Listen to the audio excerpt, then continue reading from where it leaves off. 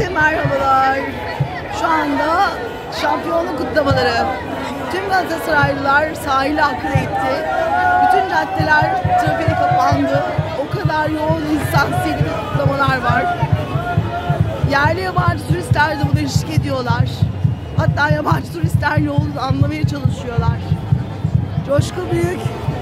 Sabaha kadar bu devam eder. Kocaman bir Galatasaray bayrağı açıldı. Gençler tarafından ve yürüyüş başlıyor.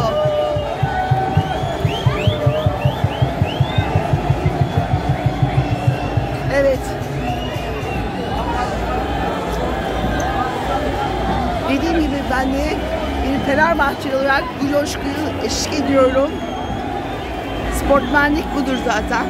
Paylaşmaktır kutlamaktır. İçtenlikle kutluyorum bu başarıyı.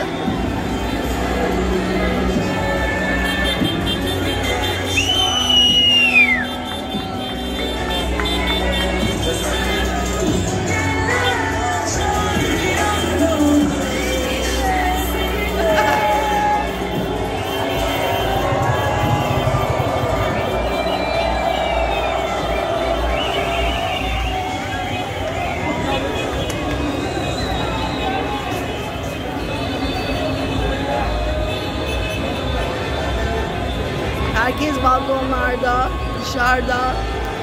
Dışarı çıkamayanlar balkonda, pencerede. Çıkanlar sokaklarda. Arabalar, korna sesleri, müzikler, şarkılar, marşlar. İnanılır gibi değil. Çok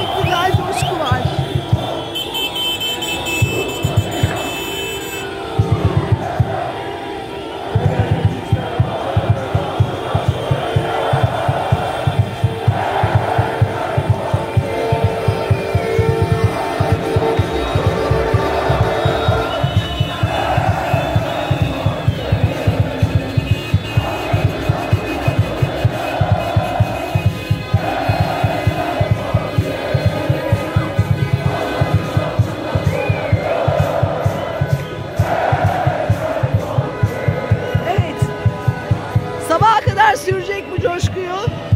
Bence siz de hiç kaçırmayın. Hemen video için izleyin. Gerçekten keyifli ve güzel. Günay kanalında kalın. Daha çok gezilecek, görülecek ve şenlikler yapacağız. Haydi bay bay. Abone olmayı lütfen unutmayın.